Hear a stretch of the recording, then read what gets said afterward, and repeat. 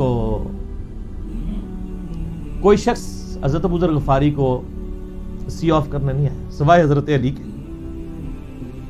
और वो भी मदीने की बाउंड्री तक आए। उनको पता था उनके स्टांस के बारे में।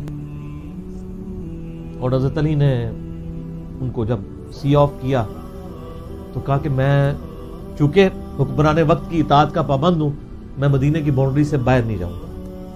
अगर मुझे कोई इस तरह का, यानी हुक्म, इजाज़त मिल जाती तो मैं तेरे साथ जाता।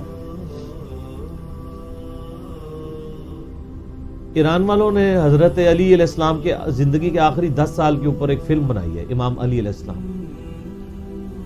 उसमें मुजर गिफारी के सारे वाकत उन्होंने फिल्माए हैं, सर। देखने वाले